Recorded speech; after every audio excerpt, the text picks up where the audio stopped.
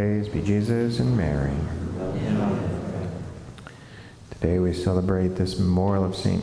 Catherine of Bologna, and her entry in the Roman Martyrology says, At Bologna in the region of Emilia Romagna, St. Catherine, a virgin of the order of St. Clare, who renowned for her natural talents, but more illustrious for her mystical virtues and her way of penance and humility, became the leader of many sacred virgins. St. Catherine was born in, on September 8, 1413. That's the same date as Our Lady's birthday in that region of northern Italy. And the entry talks about her natural talents. She was, in fact, filled with many natural talents. She knew foreign languages, including Latin. She was a great artist, a painter, and in fact, she is the patron saint of artists. She was also a musician. She played the viola. She was very well read, especially in the works of the fathers of the church, and she herself was a writer, her most famous work being the Seven Spiritual Weapons. And there's a lot of talk today about spiritual battle and spiritual warfare, and so that uh, is a good work to read, The Seven Spiritual Weapons, uh, in which she talks about her own spiritual warfare that she underwent. And she writes down all of the insights that she has from that in order to instruct her fellow nuns. Pope Benedict XVI, in his Wednesday audience, uh, spoke about her, and he said, In her writings, Catherine has left us a few essential notes concerning this mysterious battle from which, with God's grace, she emerged victorious. She did so in order to instruct her sisters and those who intend to set out on the path of perfection. Now, who are those who intend to set out on the path of perfection? Well, that should be every Christian, right? Because Christ has called all of us to strive after Christian perfection.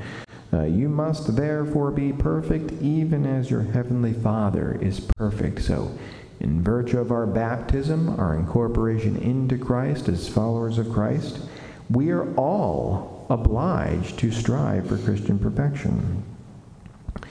She wanted to put them on their guard against the temptations of the devil who often conceals himself behind deceptive guises, later to sow doubts about faith, vocational uncertainty, and sensuality. Right? So if you're experiencing these type of things, temptations to sensuality, vocational uncertainty, doubts against the faith, this is what she's talking about.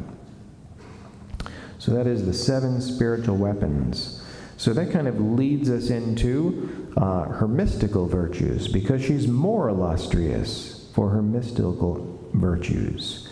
She required very little sleep at night and spent that time in prayer. She also displayed heroic patience in dealing with her sickness, which she basically experienced throughout her life, and also the temptations that she underwent. Again, Benedict XVI relates her trials, her inner suffering, and especially the temptations of the devil were great and terrible. She passed through a profound spiritual crisis and came to the brink of despair. She lived in the night of the Spirit and was also deeply shaken by the temptation of disbelief of our Lord's real presence in the Eucharist. After so much suffering, the Lord comforted her. He gave her in a vision a clear awareness of the real presence in the Eucharist, an awareness so dazzling that Catherine was unable to express it in words. And finally, in 1431, she had a vision of the Last Judgment. The terrifying spectacle of the damned impelled her to redouble her prayers and penance for the salvation of sinners. The devil continued to assail her, and she entrusted herself ever more totally to the Lord and to the Virgin Mary.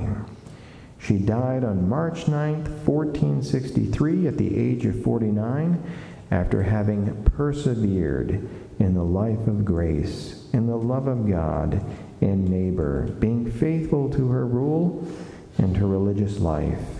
To this day, her body remains incorrupt in Bologna, and you can visit it and see it or find pictures online.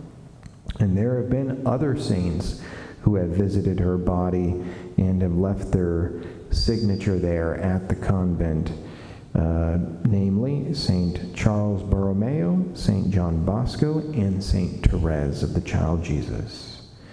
In the name of the Father, and of the Son, and of the Holy Spirit. Amen.